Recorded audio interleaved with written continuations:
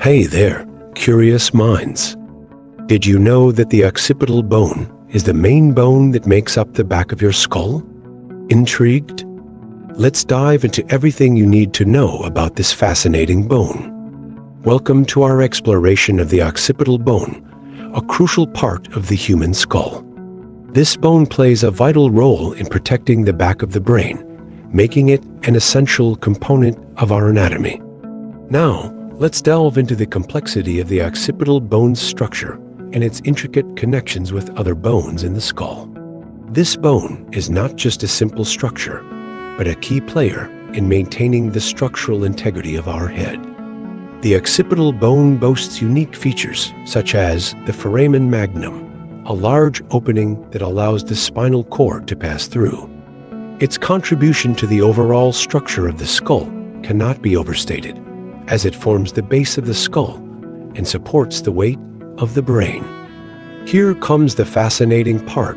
Did you know that the occipital bone is involved in vision and the coordination of movements? Yes, you heard it right. This bone plays a crucial role in our ability to see and move seamlessly. Quick facts. Location neurocranium. Bone type. Flat bone.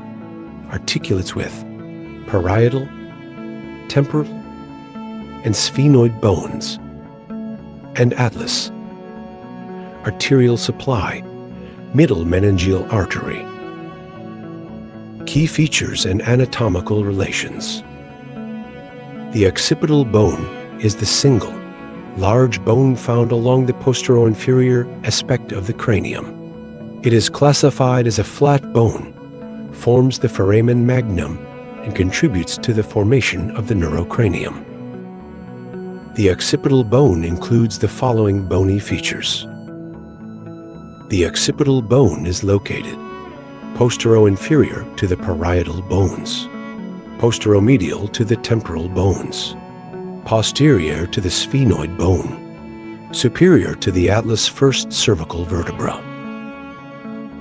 It articulates with the parietal bones at the lambdoid suture, temporal bones at the occipitomastoid sutures and the petrooccipital synchondroses, sphenoid bone at the sphenooccipital synchondroses, atlas at the atlanto-occipital joints, Ossification. Ossification of the occipital bone occurs at nine ossification centers.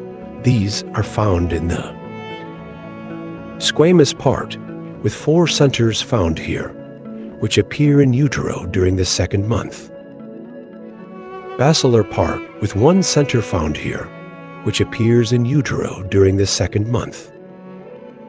Right and left lateral parts, with two centers found in each, which appear in utero during the second month. At birth, the squamous, basilar, and lateral parts of the occipital bone remain unfused. The squamous and lateral parts fuse with each other during the second year, while the lateral and basilar parts fuse with each other during the third to fourth years. Variations. In some individuals, a third occipital condyle may be present. The occipital bone may be fused with the atlas, known as atlanto-occipital assimilation. The superior portion of the squamous part of occipital bone may fail to fuse with the rest of the bone, resulting in the presence of an interparietal bone Inca bone. The occipital bone also displays sexual dimorphism, where the nuchal lines and external occipital protuberance tend to be heavier in males than females. List of clinical correlates. Fracture of occipital bone. Occipital horn syndrome. Craniosynostosis. Parts of occipital bone.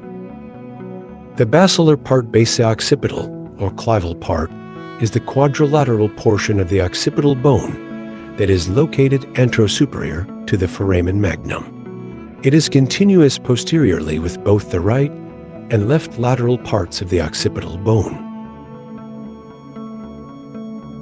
The medial portion of the groove for the inferior petrosal sinus and the posterior portion of the clivus. It provides insertion sites for the longus capitis and rectus capitis anterior muscles, and an attachment site for the pharyngeal raphe and anterior atlanto-occipital membrane. The basilar part articulates. Anteriorly, with the posterior surface of the body of sphenoid bone, forming the spheno-occipital synchondrosis. Laterally, with the petrous part of temporal bone, contributing to the formation of the petrooccipital synchondrosis. The lateral parts condylar, or exoccipital parts, are the two portions of the occipital bone that are located lateral to the foramen magnum. They are both continuous. Anteriorly, with the basilar part of occipital bone. Posteriorly, with the squamous part of occipital bone. On its corresponding side, each lateral part of occipital bone consists of an occipital condyle, condylar fossa, jugular process, jugular tubercle, inferior portion of a groove for sigmoid sinus, and hypoglossal and condylar canals. Provides an insertion site for a rectus capitis lateralis muscle. Articulates inferiorly with a superior articular facet of the atlas first cervical vertebra, forming an atlanto-occipital joint. The squamous part of occipital bone is the expanded, curved plate of bone that is located posterosuperior to the foramen magnum. Mastoid and lambdoid borders, and superior and lateral angles. The internal surface of the squamous part is concave and consists of the internal occipital protuberance and internal occipital crest, grooves for the superior sagittal, cerebral and cerebellar fossae. The external surface of the squamous part is convex and consists of the external occipital protuberance and external occipital crest, supreme, superior, and inferior nuchal lines. The squamous part provides origin sites for the descending part of trapezius muscle and the occipital belly of occipitofrontalis muscle. Insertion sites for the sternocleidomastoid obliquus capitis superior, semispinalis capitis, splenius capitis, and rectus capitis posterior major and minor muscles. Attachment sites for the nuchal ligament, falx cerebri, falx cerebelli, epicranial aponeurosis, and posterior atlanto-occipital membrane. The condylar canal allows for the passage of a condylar emissary vein. The foramen lacerum is a relatively large, irregularly shaped opening found along the posteromedial area of the middle cranial fossa. Specifically, the foramen lacerum allows for the passage of meningeal arterial branches, emissary veins, and a deep petrosal nerve. The foramen magnum is a large oval opening found along the anteroinferior aspect of the occipital bone. Its margin is formed anteriorly by the basilar part of the occipital bone, laterally by both the right and left lateral parts of the occipital bone, posteriorly by the squamous part of the occipital bone. The following craniometric points are found along the margin of the foramen magnum. The basion, which is found along its anteromedial margin. The opisthion, which is found along its posteromedial margin. The foramen magnum allows for the passage of the following structures between the cranial cavity and vertebral canal. The inferior end of the medulla oblongata and its accompanying meninges vertebral arteries, anterior and posterior spinal arteries, the foramen magnum is larger in males than females. The hypoglossal canal anterior condylar canal or anterior condyloid canal is the anteriorly located tubular passage found in the lateral parts of the occipital bone. Each hypoglossal canal is located between the occipital condyle and the jugular tubercle. It extends obliquely, anterolaterally from its extracranial opening to its intracranial opening, which is found medial to a jugular notch of occipital bone. The hypoglossal canal allows for the passage of the hypoglossal branch of neuromeningeal trunk and the hypoglossal nerve. The jugular foramen is a large, irregularly shaped opening found along the posterolateral area of the cranial base, lateral to the foramen magnum. The jugular foramen allows for the passage of the meningeal branch of the occipital artery, internal jugular vein, and inferior petrosal sinus, as well as the glossopharyngeal, vagus, nerve. Surfaces of occipital bone. The cerebellar fossae are the two inferiorly located quadrilateral depressions found along the internal surface of the squamous part of occipital bone. They are located inferior to the grooves for transverse sinuses and are separated from each other by the internal occipital crest.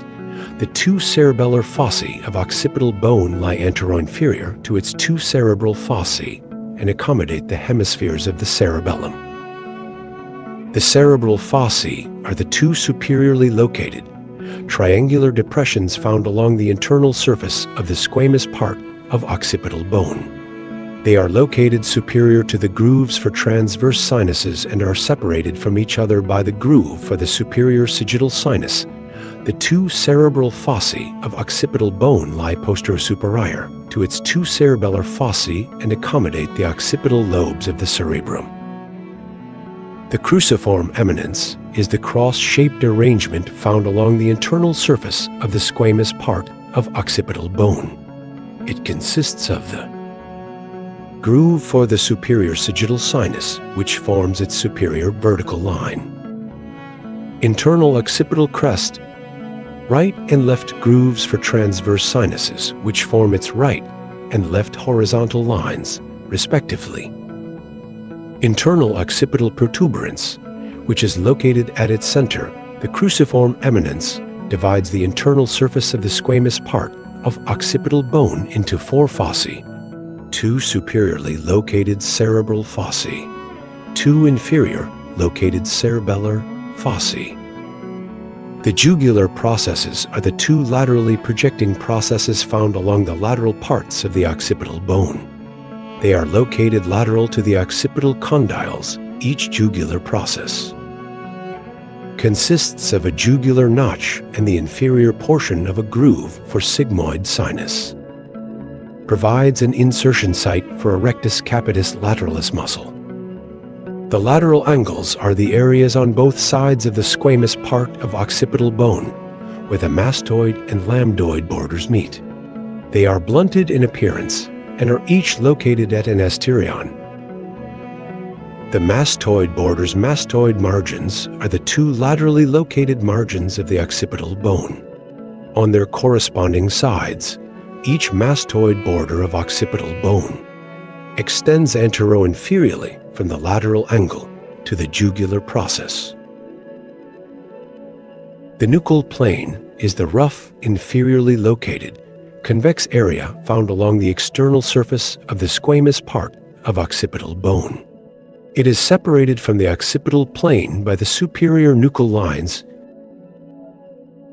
The nuchal plane provides Insertion sites for the obliquus capitis superior, semispinalis capitis, and rectus capitis posterior major and minor muscles. An attachment site for the nuchal ligament. The occipital plane is the smooth, superiorly located, convex area found along the external surface of the squamous part of occipital bone. It is separated from the nuchal plane by the superior nuchal lines and consists of the supreme nuchal lines, the occipital plane provides an origin site for the occipital belly of occipitofrontalis muscle and an attachment site for the epicranial aponeurosis. The superior angle is the area of the squamous part of occipital bone where its right and left lambdoid borders meet. It is pointed in appearance and is located at the lambda. The posterior portion of the groove for the superior sagittal sinus is found along the internal surface of the superior angle of occipital bone. In summary, the occipital bone is a cornerstone of understanding human anatomy and health.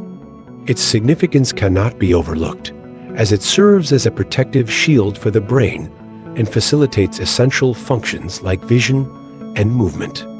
I encourage you to explore more anatomy-related videos on our channel to deepen your knowledge. Share your thoughts about the occipital bone in the comments section below. Don't forget to like and subscribe for more intriguing insights into the wonders of the human body.